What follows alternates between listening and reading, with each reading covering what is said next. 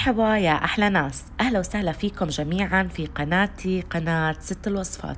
اليوم إن شاء الله رح نعمل مع بعض بيتزا بعجينة كتير هشة وقطنية وبتزبط لجميع أنواع المعجنات. رح نعمل باربيكيو بيتزا بال zinger وكمان رح نعمل بيتزا خضر.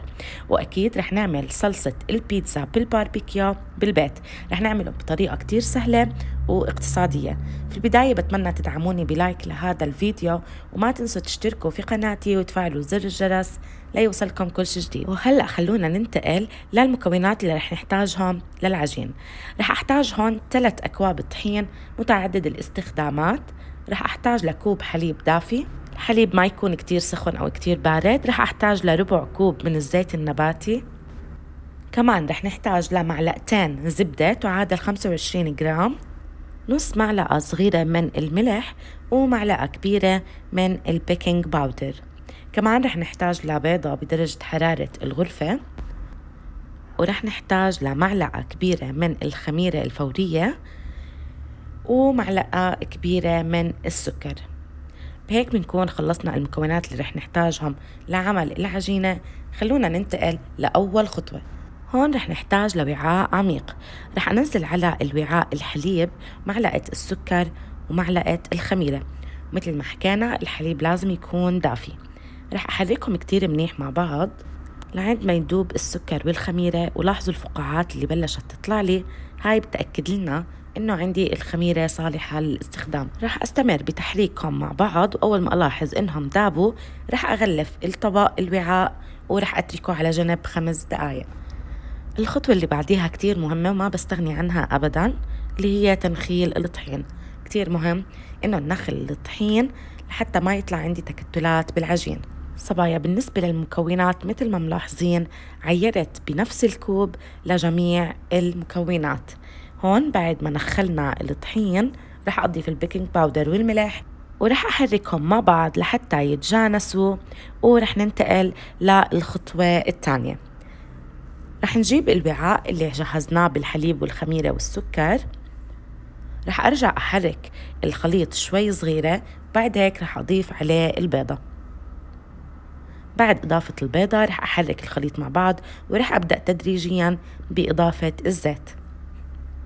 بعد ما نضيف الزيت ونحركه كتير منيح رح أبدأ بإضافة المواد الجافة اللي هي الطحين وال baking powder رح أضيف الطحين تدريجيا يعني وكتير مهم إنه نضيفه تدريجيا. نوعيات الطحين بتفرق عن بعض. ممكن تحتاجوا كمية أكتر وممكن تحتاجوا كمية أقل حسب نوعية الطحين يلي متوفر عندكم. رح أستمر بإضافة الطحين ورح أبدأ بالعجن. صبايا كتير مهم عنا العجن. مدة العجن إجمالا بعد ما نلم العجينة كلها على بعض وتتجمع وتبطل تلزق لازم تكون ما بتقل عن عشر دقايق. قبل ما أخلص من كمية الطحين اللي كاملة وإضافتها رح أضيف الزبدة. الزبدة لازم تكون عندي بدرجة حرارة الغرفة. مع الزبدة رح أبدأ كمان بالعجن وبعد هيك رح أضيف آخر كمية من الطحين وألم العجينة وأعجنها عشر دقايق. هيك العجينة بعد ما انعجنت عندي عشر دقايق لاحظوا ما شاء الله قوامها خيالي. وكتير طرية. رح أجيب وعاء رح أضيف على الوعاء زيت رح أدهنه بالزيت وكمان رح أدهن وجه العجينة بس أحطها فيه وبعد هيك رح أغلفها ورح أتركها في مكان دافئ لمدة ما بتقل عن ساعة لأنه بدنا نتركها تتخمر براحتها. وبهيك بنكون خلصنا العجين. خلونا ننتقل لتحضير صلصة البيتزا الخرافية. رح أحتاج لثلاثة حبة كبيرة من البندورة. برشتهم كتير منيح. رح أحتاج لبصلة مفرومة كتير ناعم. يفضل البصلة تكون كتير ناعمة. معلقتين كبار من معجون البندورة. سن توم مهروس بهذا الشكل والبهارات رح تكون معلقة صغيرة من الأوريغانو نص معلقة صغيرة من الفلفل الأسود ونص معلقة صغيرة من الملح. أكيد رح نحتاج زيت زيتون ورح أحتاج لباربيكيو صوص. صبايا بنصحكم بهاي النوعية لأنها خرافية طعمها كتير طيب. رح ننتقل لطريقة التحضير. بطنجرة على النار. رح أحط زيت الزيتون ورح أضيف عليه البصلة. مقدار كمية زيت الزيتون تقريبا معلقتين كبار. على نار متوسطة رح أبدأ بتقليب البصل وأول ما ألاحظ إنه بلش يدبل رح أضيف عليه سن التوم. رح أنزل سن التوم مثل ما أنتم شايفين. ورح أقلبه مع البصل. رح أتركه لمدة 3 دقايق تقريبا وبعد هيك رح أبدأ بإضافة معجون البندورة. سبق وحكينا معجون البندورة رح نحتاج لمعلقتين كبار. بعد إضافة معجون البندورة كمان رح أقلبه مع البصل والتومة. وبعد هيك رح أضيف عليه البندورة يلي عصرناها أو اللي برشناها. تقدروا تقطعوها كمان ما بتفرق بس تكون كتير ناعمة. رح أقلب كل المكونات مع بعض وبس أحسهم شوية بلشوا يتسبكوا. رح أضيف عليهم البهارات.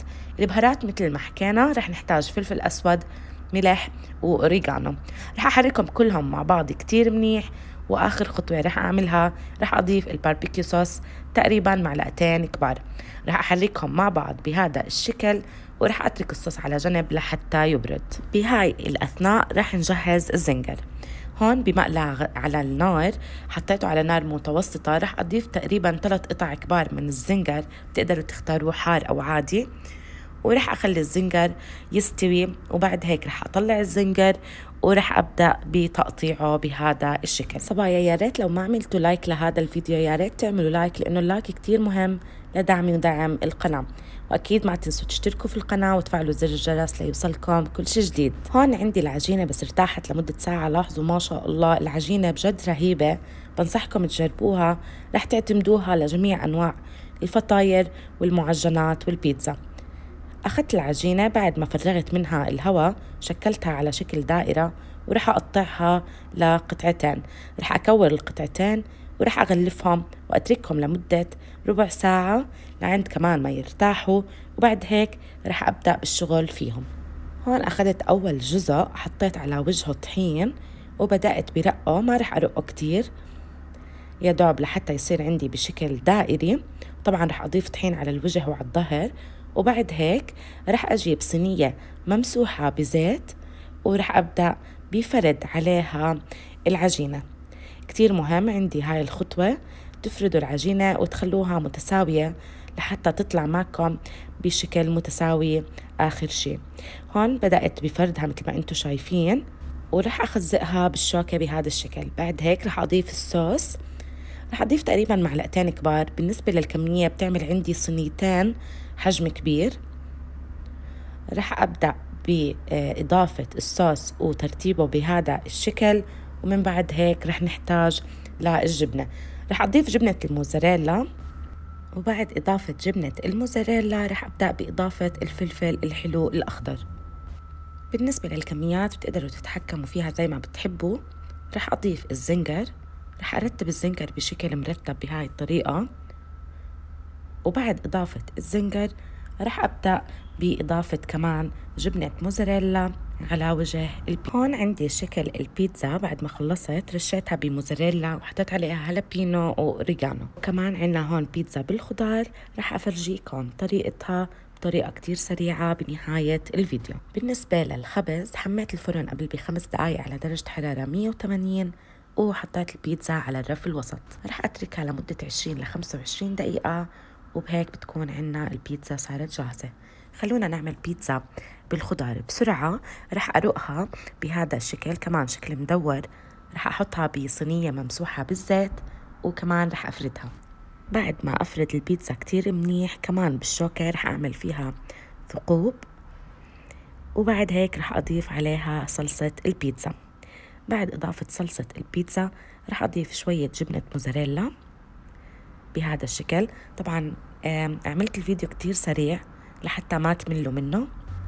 بعد ما ضفنا الموزاريلا رح نضيف الفلفل الحلو رح نضيف الفطر كمان رح نضيف ال hot dog وبعد ما نضيف ال hot dog رح نضيف الزيتون الأسود.